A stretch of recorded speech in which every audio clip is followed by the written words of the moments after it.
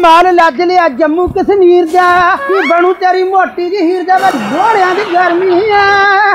ਕਮਾਗ ਦਾ ਮਹੀਨਾ ਛਰਦਾ ਰਾਵੇ ਅੱਗੇ ਤੇਰੀ ਮਰਜ਼ੀ ਆ ਓ ਬੱਲੇ। ਓ ਕੀ ਹਾਲ ਆ ਜੀਤ ਸਿਆ? ਓ ਵਧੀਆ ਭਾਨੇ ਤੂੰ ਸੁਣਾ ਕਿਵੇਂ ਆ? ਓ ਵਧੀਆ ਤੂੰ ਇੱਧਰ ਕਿੱਧਰ ਆ? ਓ ਮੈਂ ਤਾਂ ਪੰਪ ਤੋਂ ਤੇਲ ਲੈਣ ਆਇਆ ਸੀਗਾ ਤੈਨੂੰ ਦੇਖ ਕੇ ਮੈਂ ਖਲਾ ਭਾਨੇ ਨੂੰ ਮਿਲ ਲਈਏ। ਹੋਰ ਟਰੱਕ ਚਲਾਉਣ ਲੱਗ ਗਿਆ ਤੇਰਾ ਯਾਰ 17 ਟਾਇਰੇ ਆ। ਤੂੰ ਚਲਾਉਣਾ ਕਿ ਕਨੈਕਟਰ ਲੱਗਿਆ ਹੋਇਆ? ਓ ਲੈ ਮੈਂ ਡਰਾਈਵਰ ਲੱਗਿਆ 17 ਟਾਇਰਾ ਟਰੱਕ ਚਲਾਉਣਾ ਹਲੇ ਕਹਿੰਦਾ ਕਨੈਕਟਰ ਲੱਗਿਆ। ਓਏ 17 ਟਾਇਰਾਂ ਨਹੀਂ ਹੈਗਾ ਓਏ ਇਹ 16 ਟਾਇਰ ਟਿੱਪਣੀ ਨੇ? ਅੱਛਾ। ਕਿੱਧਰ ਨੂੰ ਚੱਲਿਆ? ਮੈਂ ਚੱਲਿਆ ਗੁਰਜੀਤ ਨੂੰ। ਗੁਜਰਾਤ ਨੂੰ? ਹਾਂ। ਓ ਅੱਛਾ ਫਿਰ ਉਰੇ ਕਿਉਂ ਖੜਾ? ਓ ਯਾਰ ਮੇਰੇ ਨਾਲ ਤਾਂ ਬਾਹਲੀ ਪੈੜੀ ਹੋਈ। ਤਿੰਨ ਦਿਨ ਹੋ ਗਏ ਪੰਪ ਤੇ ਖੜੇ ਨੂੰ। ਤਿੰਨ ਦਿਨ ਹੋ ਗਏ ਕਿਆ ਓ ਯਾਰ ਮੇਰੇ ਮਾਲਕ ਕਹਿੰਦਾ ਵੀ ਜਿਹੜਾ ਪੁਲ ਭੀੜਾ ਹੋਇਆ ਉੱਥੋਂ ਦੇਖ ਕੇ ਨਗਾਈ। ਆਹੋ ਵੀ ਟੱਚ ਨਾ ਹੋ ਜੇ। ਟੱਚ ਨਾ ਹੋ ਜੇ।